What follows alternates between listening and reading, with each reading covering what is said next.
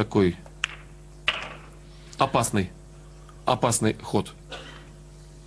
А что он сделал не так? Винта нужно было, видимо, давать, да, своему шарику? Чтобы да, он... немножечко неверно рассчитал. Он э, хотел ближе к середине короткого борта, скажем, Вот биток повтор выставить. как раз, да. Да, вот он ближе к середине, а получилось, он ушел в угловую лузу. Ну, в общем, из-за этой ошибки, вот повтор, который вы видите на своих экранах, Евгений проигрывает эту партию 28-26. Ну, После победы в этой партии становится счет. Ну, а мы с вами возвращаемся в игровое пространство. преимущество у него есть, поэтому ему здесь очень важно продолжать его держать. Хотя, конечно, все ближе и ближе финал этой встречи. Moscow Challenge, который играет Константин Степанов и Евгений Сталев. До 35 побед. Вот я уже говорил, да, классический биток среднюю лузу, но вот чуть-чуть не упал. Чуть было не было, чуть было не упал. Девятка не упала чуть, да? Нет, белый шар вот в угловую А, белый лужу. шар. Вот, но в то же время сейчас не встала позиция для открытой для открытого удара, хотя и девятка шла, Девятка, мы видели. ну, она, может быть, ну, в район лузы шла точно, а Да. биток, да, биток там заколыхался. Я на девятку смотрел, поэтому битка совсем даже не проследил. А он действительно чуть было не свалился. Да, вот здесь уже, когда много наблюдаешь пуловские матчи, смотришь при разбое два шара. Первый упал, не упал, и сразу после него концентрация внимания на битке, где биток. Упал, не упал биток, и как он стал уже по отношению к следующим шарам. Потому что девятка, как бы, на нее обычно, ну, зритель больше смотрит на нее, а профессионалы смотрят вот на эти два шара, чтобы понять, будет продолжение или не будет продолжения. Хотя, конечно, это все в доли секунды происходит.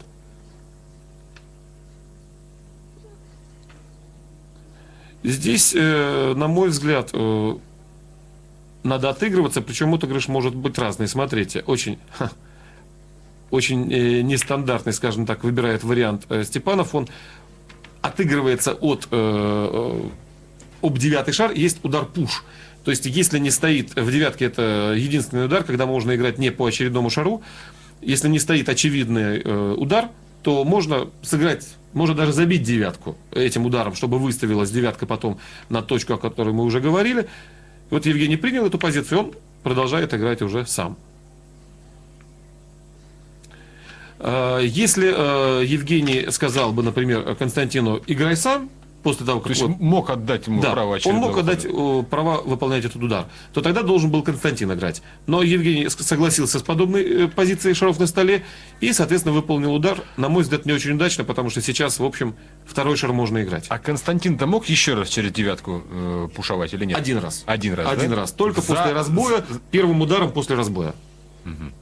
То есть он обязан был играть бы э, через второй шар, да? Ну, то есть шар с наименьшим наградом, он данном случае да. второй. То есть дальше вот то, что сделал Евгений, он должен был либо так же сыграть, как Евгений, но вот и Константин ошибается. Он э, кос- э, хотел, чуть-чуть перерезал второй шар.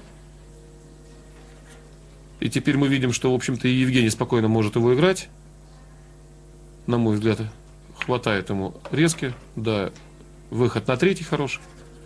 Там же четвертый, пятый. Ну, в общем-то, здесь достаточно очевидно, что Евгений должен справиться с этой позицией. Да, вот э, посмотрел он относительно резкий на пятый шаг. Здесь, конечно, э, сомнений мало, но с другой стороны, как мы уже говорили, э, фактор психологии уже все ярче и ярче проявляется.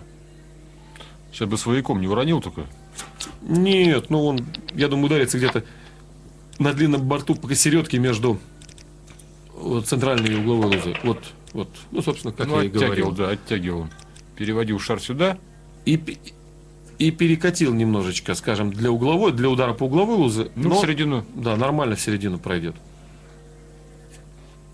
В середину нормально пройдет, и как раз выйдет биток на длинный борт, чтобы сыграть вдоль борта э, черный шар в угловую лузу. Да, ну, в общем-то, так оно и есть.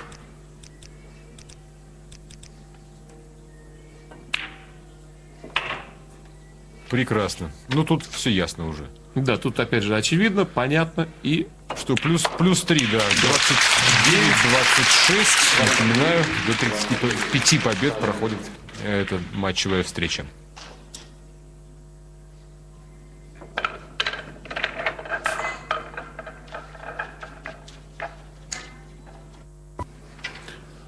Ну что же, очередная партия. Сталев разбивает. 29-26 в его пользу. Напомню, что э, вот мы уже видели, что после разбития у Евгения не падали шарики, а разбой, как вот мой коллега отмечал, это одна из важнейших составляющих игры под названием «девятка». И вы посмотрите, и сейчас опять ничего не падает. Что-то перестал как-то, да, у Евгения получаться? Это вот иногда говорят, идет, не идет, да, то есть как-то вот, ну, не пошло. Мы видим, и сейчас при напряжении счета, который стремится к 35 уже, все ближе, ближе, ближе, конечно, это очень, очень обидно для игрока, который разбивал, потому что, в общем, очень сложно, но можно забить первый шар, совсем непростой выход на второй, но там можно отыгрываться, поэтому варианты существуют. Вот сейчас мы видим через весь стол, почти с угла нужно будет играть Степанову по первому шару. И сейчас и пуш он сделать не может, да, вот этот самый? Да, он не может, потому что э, это можно сделать, если ты разбивал и ничего у тебя не упало. Это мог сделать, допустим, в другой партии мы видели подобный удар. Но вот сейчас очень хорошо забил, причем прекрасно вышел на второй шар Степанов. Ну, элемент риска был, я так понимаю, да? Конечно. Довольно серьезный. Конечно. Но вот здесь вот и срабатывает то, о чем я говорил, вот это вот психологически, и тут надо нырять, нужно, тем более он отстает достаточно сильно, ему уже нужно э, брать э, быка за рока, иначе у него времени не будет. Вот сейчас он немножечко подбил, будет играть, соответственно, четвертым по пятому шару. Вот очень хорошо, аккуратно. Четвертый остался в лузе.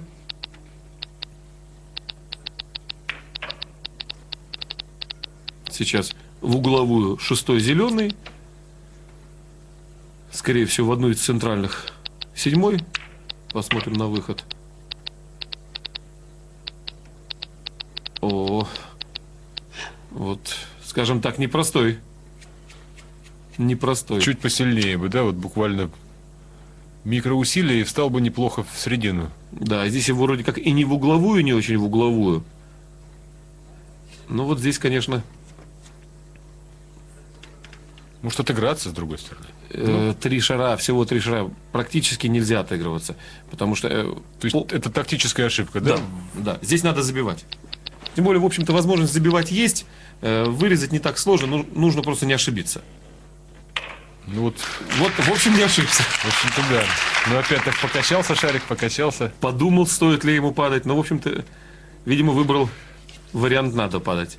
Но вот он об губку, да, и на мягком ударе как раз он, Перерезал он на повторе, было видно? да, чуть-чуть перерезал, Ну, безусловно. хватило, ширины лузы хватило, чтобы она приняла. Ну, а сейчас, сейчас тут уже все ясно. С другой стороны, Лев, мы же сами видели, как э, отыгрывались, э, и Евгений отыгрывался, и Константин отыгрывался в городской партии, когда он ее укатал. Одна из первых, э, одна из первых партий, когда на столе было всего-навсего два шара и биток. Тактика э, всей встречи, тактика э, всего матча, она, безусловно, по ходу игры меняется. Если там был большой э, путь еще впереди, который нужно было преодолевать, там можно было отыгрываться.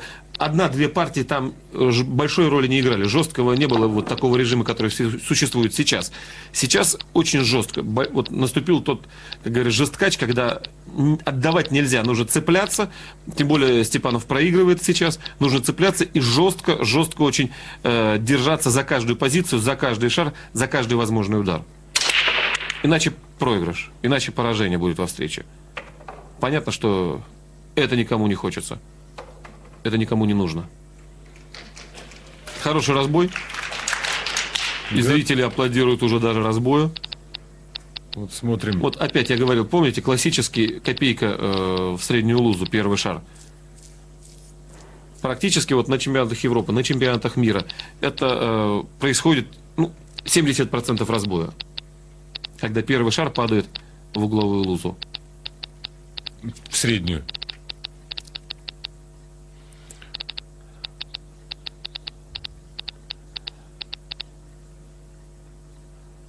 Итак, второй.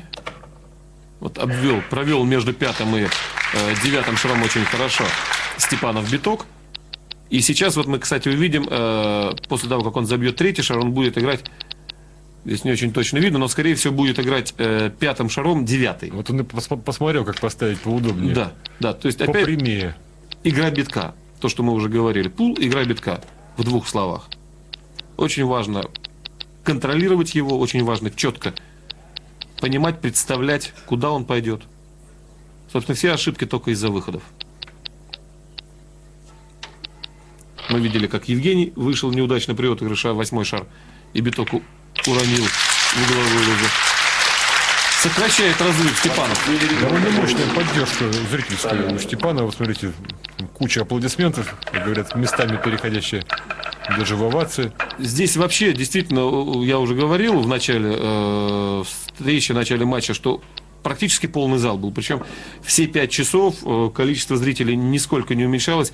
Тем более игра, которая вот, э, вот эти вот непонятно, кто выиграет, она, конечно, давала зрителям вот это ощущение интриги, непредсказуемости и заставляла смотреть каждую партию, каждую раз. Опять центральная луза, шар в лузе. Вот, смотрите, хороший какой разбой. Тут чуть ли не половину шаров он сразу загнал. Да, да, из пяти шаров четыре упало, но не очень удачно встал четвертый по отношению к битку. А это шар с наименьшим номером на Да, столе. сейчас вот этот розовый шар мы его видим. Ну, посмотрим, что предпримет Степанов. Ну, видно, судя по всему, да, напрямую он проходит, но, Да, видно, но но вот вырезать-то его, по-моему, никуда невозможно. невозможно либо играть от него седьмой, но это очень не гарантированно, э, либо отыгрываться, что тоже не есть как удобно, либо играть пуш-аут. Вот то, что мы говорили, то есть сейчас может он играть не обязательно по четвертому шару, он может э, сказать пуш, в какое-то э, место стола поставить биток для того, чтобы предложить Евгению принять или не принять ситуацию. При этом биток ведь может не коснуться ни одного шара, да? Да, он может не коснуться шара, борта, может ничего не коснуться. Но он выбирает нападение. Будет играть.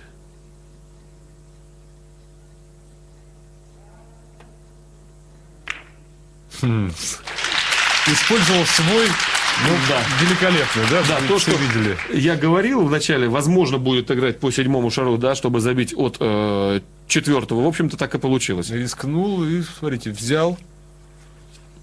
Взял этот непростую позицию. И, и дальше опять мы приходим к тому, что позиция открытая на столе. Надо выполнять то, что стоит в предполагаемых, предлагаемых обстоятельствах. Вообще Степанов э, в 2005 году, конечно, в общем-то выиграл все, что можно. Он э, выиграл э, чемпионат России, все три чемпионата России личные, тем самым стал первым абсолютным чемпионом России по пулу. Вот именно в формате, как вы спрашивали, выиграв все три чемпионата, а не на троих разыграв среди победителей чемпионатов игры. Он выиграл э, суперфинал э, Кубков России. Он выиграл не- несколько этапов Кубка России. И вот сейчас счет 29-29. И сравнялся сейчас вот с Евгением Сталевым. Да. Короткий сет до шести побед. Практически остался. Вот жалко, мы не увидели повтор того, того замечательного шара, когда он, Седьмой. да, свояком, белым шаром. Ну, в общем, здорово. Он выполнил тот удар, ничего не скажешь. Смотрим за разбоем. Нету в середину шар номер один не падает, но зато Да, есть упавший. В общем, да, видно, видно ему. Напрямую стоит первый шар. Евгений уже тоже напряжен. шестерка падает, да? Да, упал